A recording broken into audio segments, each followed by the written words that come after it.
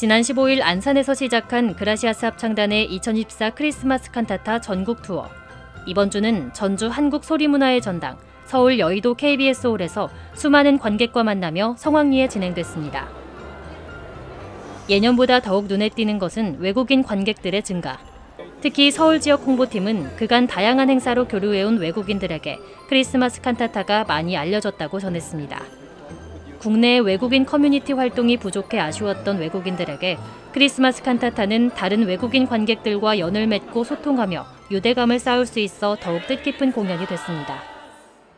매년 겨울 각 지역을 찾아오는 명물 공연이 된 크리스마스 칸타타에 지역 인사들도 공연을 관람하고 그라시아스 합창단의 설립자 박옥수 목사와 면담했습니다. 박옥수 목사는 예수님께서 십자가의 보혈로 우리 죄를 완벽히 사하셨으며 하나님의 말씀대로 더 이상 우리는 죄인이 아니라 의인으로 거듭났다는 복음을 귀빈들에게 전했습니다. 그리고 면담을 통해 의인이 됐음을 확신한 귀빈들에게 크리스마스 칸타타는 공연 그 이상의 기쁨이 됐습니다.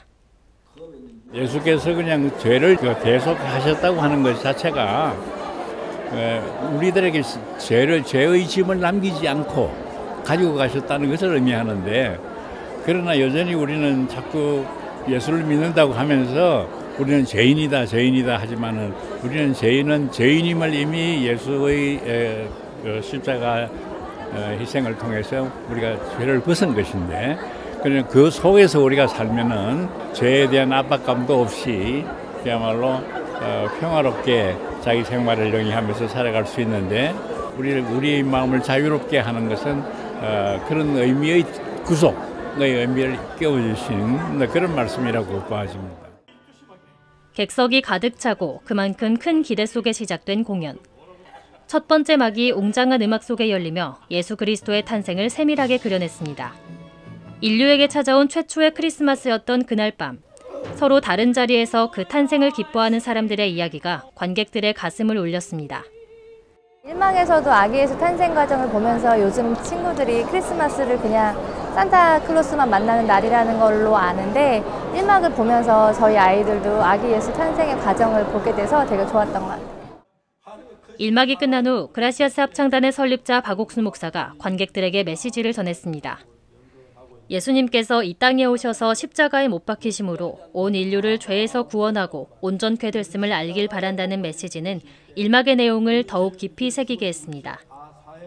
안데르센의 동화 성냥팔이 소녀를 모티브로 삼은 이막의 뮤지컬. 크리스마스 칸타타의 마스코트라고 할 수 있는 안나를 통해 가족 간의 사랑을 강조합니다. 동화적인 연출과 익숙한 캐럴이 한껏 흥을 돋우는 한편 이야기에 담긴 따뜻한 마음이 관객에게 감동을 선사했습니다. 그라시아스 합창단과 오케스트라의 규모를 한눈에 감상할 수 있는 삼막. 기악과 성악의 완벽한 조화가 관객들을 음악의 향연으로 이끌어갑니다. 음악만이 줄 수 있는 감동과 행복을 느낄 수 있는 무대. 관객들의 찬사가 쏟아졌습니다.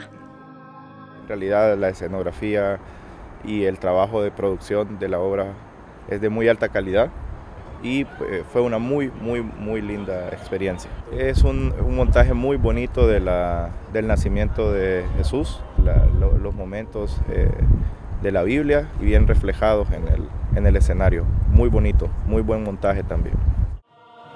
소중한 사람들과 함께하는 따뜻한 연말. 그 시간이 더욱 특별하게 꾸며지는 2024 크리스마스 칸타타 전국 투어는 다음 주 진주와 광주, 창원 공연으로 이어집니다. 굿뉴스TV 김정훈입니다.